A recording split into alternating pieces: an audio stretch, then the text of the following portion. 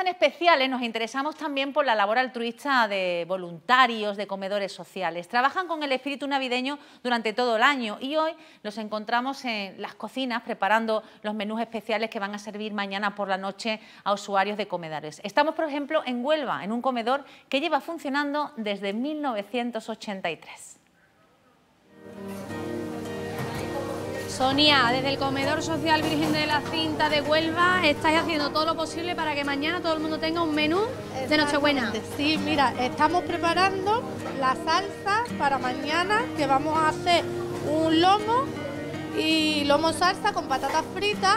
Van a llevar un plato de chacina y van a llevar un plato de gamba. Además, el postre es una tarta ¿Cuántos usuarios se van a poder beneficiar de este menú? Pues mañana podemos llegar a los 180, 190 perfectamente, porque la verdad que tenemos muchísima gente. Claro, hay mucho trabajo, pero sí es verdad que tenemos muchos voluntarios y muchas voluntarias y son todos estupendos, nos organizamos muy bien y sale todo estupendamente.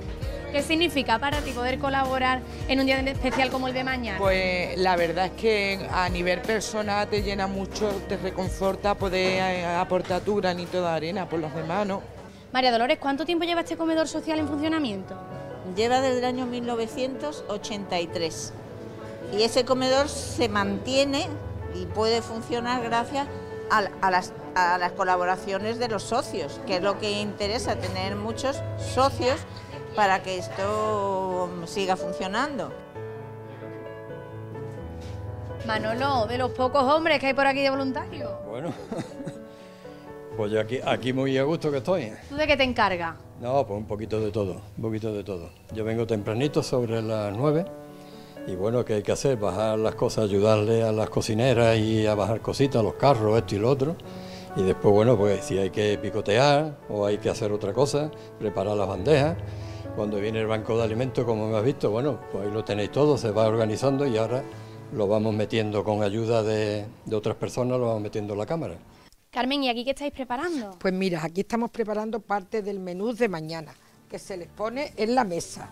¿eh? Y luego, aparte de esto, mañana se les da una bolsa especial para que se lleven a casa, que, que están aquí ya preparadas, que llevan... Por ser Nochebuena. Por ser Nochebuena, exactamente. Mm, se le da leche, se le da aceite, se le da azúcar, mm, todos los primeros, los productos básicos que más demandan ellos habitualmente y además le damos una caja de polvorones entera a cada uno que lo ha, lo ha donado el Ayuntamiento de Palo. Manuela, tú eres de las voluntarias más jovencitas, ¿no? Sí, yo creo que soy una de las más jóvenes. Vengo de un colegio que suele venir los sábados y solemos venir unas cuantas del, del colegio y pues ya aquí Vamos, yo estoy estudiando y pues los sábados por la mañana me levanto tempranito y vengo aquí. ¿Y por qué te decidiste a, ser voluntaria? Pues mira, a mí siempre me ha gustado ayudar a la gente, mm, ya y encima en esta época que estaban pasando mucha necesidad. Somos felices porque le hacemos felices a ellos y nos retroalimentamos y nos hacemos felices nosotros, ¿me entiendes? O sea, que es como una manera egoísta de tú también sentirte muy bien, muy bien, muy bien, muy bien, muy bien. ¿Me entiendes? La verdad que sí. Que es maravilloso poder ayudar a los demás. Y después tenemos una Huelva que es generosa al 100%.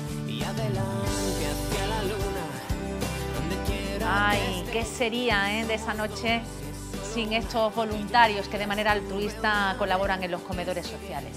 Bueno, vamos